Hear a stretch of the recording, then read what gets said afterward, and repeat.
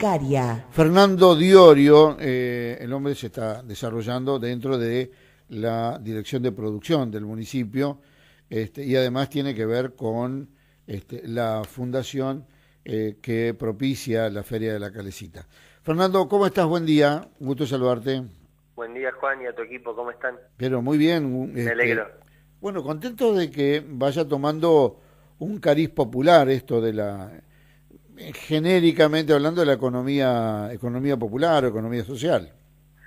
Sí, sí, mira, la verdad que es algo que, eh, que, bueno, ya hace un tiempo que, ha tomado un impulso y, está tomando cuerpo y ya deja de ser, digamos, una moda, digamos, y, se convierte, dado la situación económica del país, en una necesidad eh, fortalecer justamente este sector de la economía que es el más vulnerable, que es mm. muchas veces, eh, digamos, emprendimientos informales, eh, con escasa eh, formación, y bueno, es importantísimo que las instituciones, sobre todo del Estado, puedan ponerse al servicio de dotarlos de, de herramientas técnicas y financieras y distintas oportunidades que le permitan al, al sector fortalecerse, eh, porque bueno, digamos, eh, eh, es el sector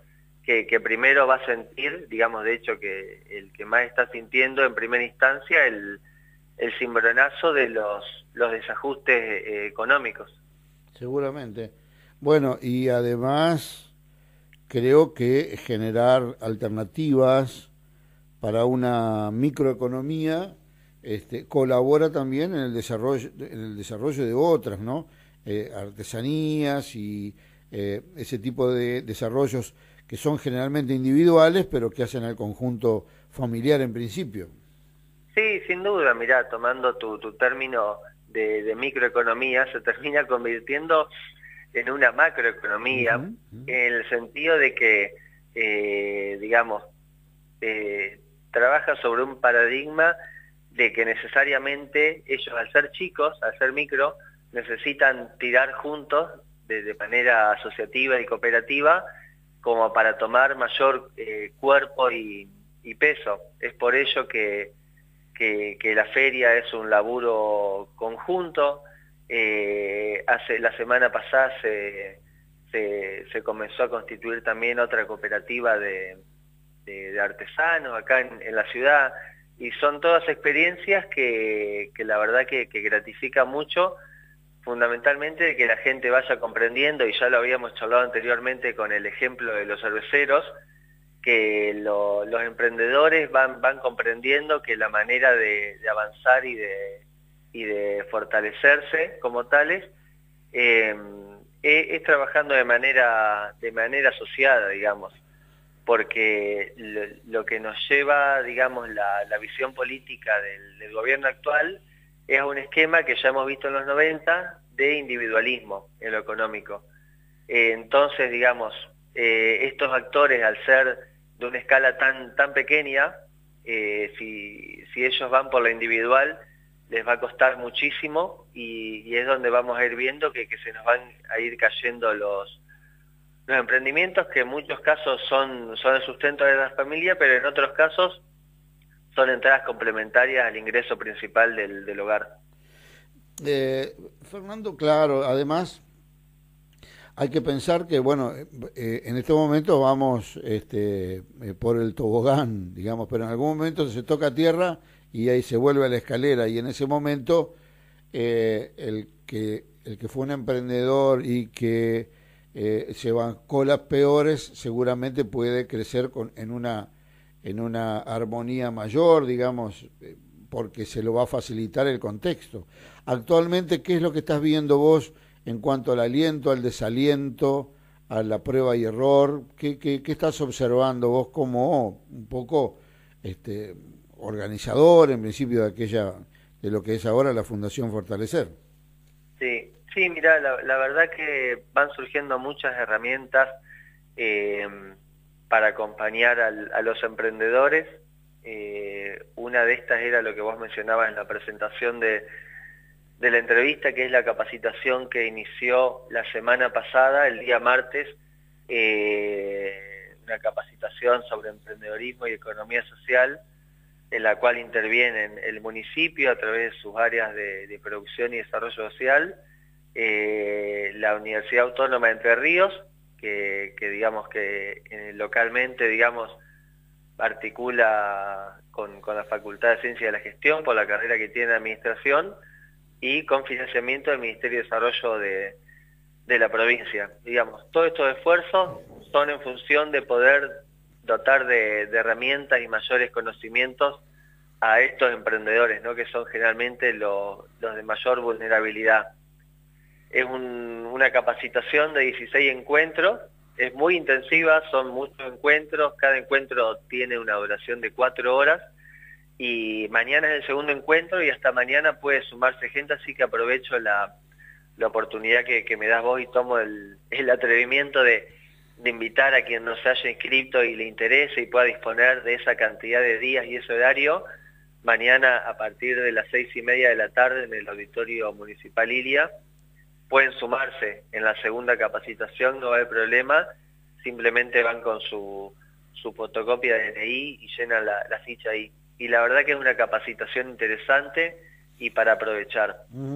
a, su a su vez también salió la, la noticia que la semana pasada se, se, formalizó de alguna manera un espacio que ya venía trabajando de manera articulada, que es la mesa emprendedora local, que es la suma de las instituciones que conforman el ecosistema emprendedor, como le, como le, le llamamos, que son las universidades, eh, algunas asociaciones, el el municipio, INTA, el INTI, digamos, es un espacio que se genera con el único fin de hacerle fácil la vida al emprendedor. Mm. Es decir, que la información de capacitación le llegue en tiempo y forma, que la información de distintas oportunidades y opciones de, financiamiento también le llegue en forma, y después se va a avanzar en algo que me parece fundamental, que es en un registro de emprendedores. ¿Esto que va a permitir? Bueno, en principio saber con qué tipo de, gente estamos trabajando y fundamentalmente conocer sus necesidades, es decir,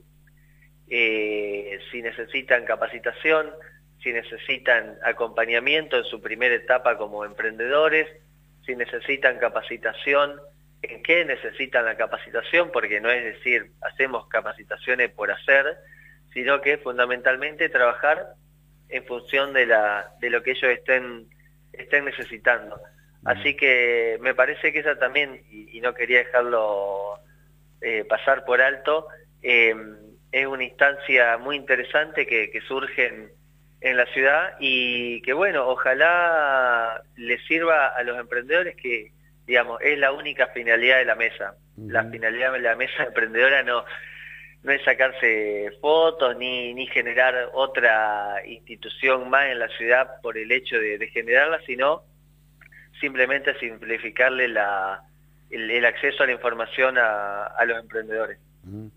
Eh, sí, eh, creo que, fíjate vos, estamos en una, en una etapa, yo escuchándote hablar, recordaba los años 95, 96, cuando se empezaba a quebrar, eh, digamos, em, empezábamos a tomar conciencia, digamos, del quiebre del aparato productivo eh, argentino y en aquel momento soñábamos en la provincia con, de hecho, se presentó un proyecto y se, realizaron reuniones para que a través del Consejo General de Educación, la Secretaría de la Producción, que era en aquel momento, la Dirección de Trabajo, eh, digamos, se fuera, y Acción Social, se fueran detectando eh, posibilidades de desarrollo, capacitación asociada y además este, que en cada, en cada sector de la gente sin trabajo hubiera algún expertise que se pudiera este, acercar a las, a las necesidades que estaba demandando este, el pequeño emprendedurismo. Yo creo que aquí se conjugan finalmente eh, y creo que muy acertadamente a tiempo eh, todos estos resortes que pueden llegar a hacer funcionar, llegado el caso de una crisis como la que vislumbramos y que aparentemente no vamos a poder evitar, un remedio anticipado, digamos, ¿no? Sí, sobre todo es, viste, eh, hacer el esfuerzo máximo en darle una red de contención a, este sector vulnerable, como te vuelvo a, como ya he dicho, ¿no? Eh, porque si, si desde las instituciones eh, públicos, privadas, académicas, si, no generamos esa red de, contención, eh, estos emprendedores, digamos, ya no, no, tienen más hacia dónde caer, ¿viste? Porque son, son muchos casos emprendimientos de, de subsistencia, ¿no? Eh, con lo cual, digamos, eh, hay que tratar de, generar y articular esfuerzos para, por lo menos para ir acompañando a esta gente y, que en principio no, no cese sus emprendimientos.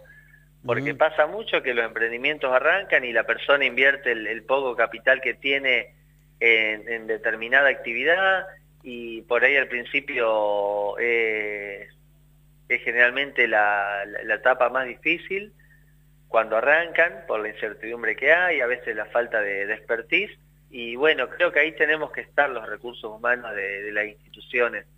Eh, pero bueno, viste, eh, lo importante es que se vayan generando estos espacios y que las instituciones, como vos decís, estén rápidas de, reflejos y no esperen a que, a que la situación se ponga aún más difícil.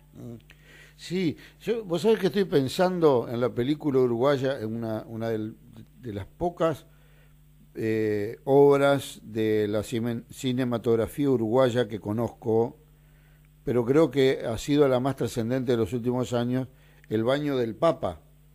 No sé si tenés eh, referencia. Me la nombraron, me la nombraron y sabés que no, no, la pude ver, pero no sé si bueno, sería espectacular para verla con los con los con los emprendedores, porque se trata de una, de una eh, colonia muy cercana a la frontera con el Uruguay, se hablaba de la visita del Papa a una ciudad vecina y que iba a pasar por allí. Entonces todo el mundo eh, era un pueblo muy pequeño, muy pobre, con nada de trabajo, y todos pusieron manos a la, a la obra para hacer algo. Este, fueron este, compraron chorizos para hacer choripán, qué sé yo, una, una cantidad de cosas y alguien muy, muy emprendedor le dijo a la mujer, yo voy a poner un baño porque la gente va a necesitar ir al baño. Claro. Bueno, finalmente, finalmente el Papa no pasó, no voy a contar toda la película, pero digo, yo creo que el emprendedor lo que tiene que, lo que tiene que eh, adivinar es que el, el milagro, si no viene de adentro, no viene nunca. El, eh, esa gran posibilidad de, de, trabajo que sueña cuando, cuando clava la primera gubia en la madera, cuando, cuando tira la, la harina sobre la mesa para hacer algún, algún sancocho. Eh, bueno, cada, el, el, primer paso siempre tiene un milagro interno más que externo, pero necesita que del otro lado también sucedan cosas para que eso que emprende hoy pueda ser un fruto para mañana, ¿no? Sí, bueno, en, esa línea déjame destacar y agradecer el laburo que hace la, el, el, equipo coordinador de la feria La Calecita porque realmente es un trabajo que ha tenido una continuidad espectacular y que ha tenido sus, sus, contratiempos que ya en algún momento los hemos charlado y, a veces eh, gente que, que, yo siento que no está a la altura en el sentido de que eh, hay que acompañar estas, estas instancias por lo que le aportan al trabajo y por lo que le aportan a la, a la ciudad, entonces eh, yo creo que hay que ponerse al servicio de, estas de estas iniciativas. Y la verdad que el, equipo de emprendedores que, que la lleva adelante está haciendo un trabajo espectacular. Ayer... Eh, el, color y la onda que le daban al, al, paseo era hermoso, se hizo un sorteo siempre con donación de, de los emprendedores y los emprendedores poniendo plata para comprar golosina y algún regalito y haciendo sorteos para el día del niño, creo que hubo ciento y pico de nenes ahí en el, en el sorteo y esas son cosas que eh, te llenan como la gente eh, agradece el, espacio, la gente de acá y la gente que viene a la ciudad y, y, la verdad que ellos se, eh, se van chochos con esos halagos, pero después a veces te encontrás con que, nada, hay que estar un poco más a la, a la altura, me parece, y propiciar eh, que, estos, que estos espacios de comercialización, que son la identidad de la ciudad, eh, puedan desarrollarse de una manera más armoniosa. Eh, hay un montón de gente con, con también necesidad de, comercializar.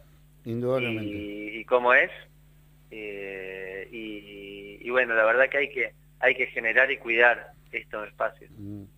Fernando, bueno, eh, ¿quién, nosotros hablamos con alguien más de la Feria de la Calecita, hay una, hay una persona ahí este, encargada en tu, en tu, en tu lugar, eh, muchas veces de, dar la comunicación. ¿Se llama? Sí, mira, está Nair Vanega, que es emprendedora y es parte de la asociación, y Elsa Pascal. Eh, son dos emprendedoras que están forman parte también de la asociación, eh, porque nosotros vamos al, equipo de laburo de la, de la asociación, vamos integrando gente que digamos, nos vamos juntando por la tonada. Claro, ahí está.